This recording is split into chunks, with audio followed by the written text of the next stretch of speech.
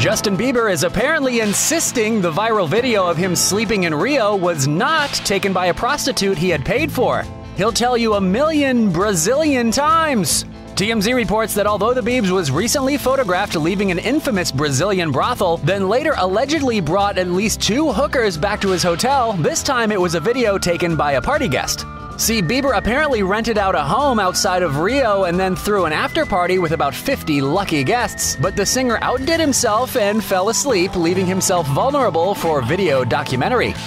Bieber is reportedly upset that the hooker rumors are hooking in, and he's creeped out that a Belieber would film him sleeping. Although he's currently on tour around the world, when Bieber was throwing parties at his Calabasas mansion, he apparently made all partygoers sign confidentiality agreements banning any sort of social media sharing of pictures or videos with a $5 million penalty for an offender. No matter what Bieber's girl was, we guess he left those forms at home.